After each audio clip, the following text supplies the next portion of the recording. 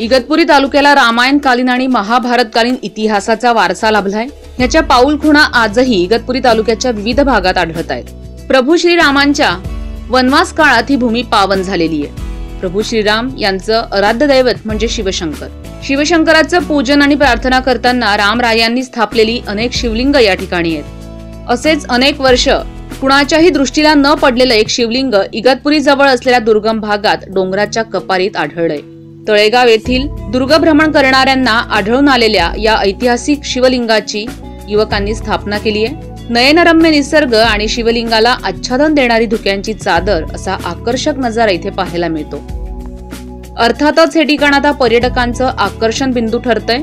कपारीत असलेला महादेव म्हणून कपारेश्वर महादेव अशी या स्थळाची ख्याती सर्वदूर झाली आहे वर्षभरापूर्वी कोरोना काळात तळेगाव येथील काही तरुण तळेगाव डॅम येथील डोंगरावर भटकंती करत होते. या भटकंती वेळी एका डोंगराच्या कपारीच्या दाट झाडीत त्यांना आकर्षक पुरातन शिवलिंग दिसलं.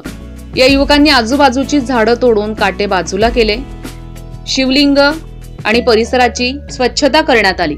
यासह इगतपुरीतील काही दानशूर व्यक्तींच्या सहाय्यानं त्याच जागेत पुरातन शिवलिंगाची विधिवत स्थापना करण्यात आली. नियमितपणे शिवलिंगाचं विधिवत पूजन सुद्धा सुरू आहे. एक वर्षापूर्वी आम्ही इथे कोविडच्या काळामध्ये इथे ट्रॅकिंग करत असताना सकाळी आम्हाला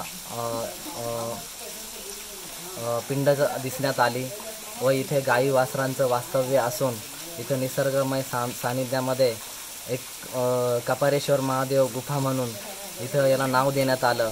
हे खूप पुरातनकालीन असून इथे आल्यानंतर माणसाचं मन प्रसन्न होतं व इथे मनाला शांती भेटते यामुळे इथं आमचा काही ग्रुप सकाळी रोज वॉकिंग करत असताना आम्हाला ही पिंड दिसण्यात आली.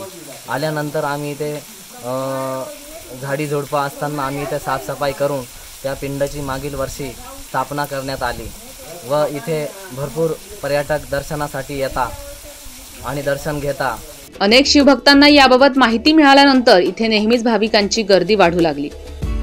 यामुळे या परिसरात भाविकांना बसण्यासाठी बाकांची सोय करण्यात आली आहे आजूबाजूचं भौगोलिक वातावरण चिखलयुक्त आणि निसरड असल्यानं फरशा सुद्धा बसवण्यात आल्या आहेत. मुंबई आग्रा महामार्गाजवळील हॉटेल ग्रीनलँड समोरून अवघ्या तीन किलोमीटर अंतरावर हे स्थळ आहे.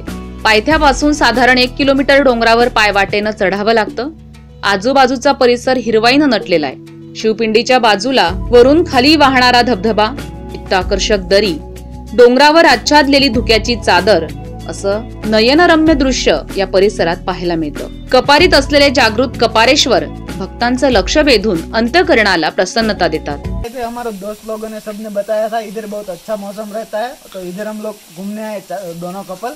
इधर बहुत मजा किया बहुत मजा आ रहा है इधर घूमने के लिए और अभी नीचे नीचे गाड़ी देखी तो इधर खड़े रहे थे तो इधर मंदिर पे कि- किसी ने बोला ऊपर शिव जी की गुफा है। तो उधर चल चल के चले आए। बहुत दूर है लेकिन बहुत मजा है इधर बहुत शांति मिलता है अच्छा वातावरण है एकदम मस्त।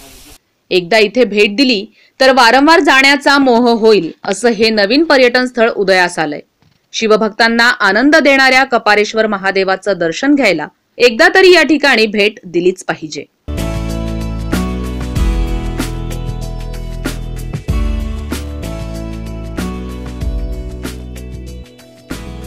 जागर जनस्थानसाठी सुमित बोधक इगतपुरी.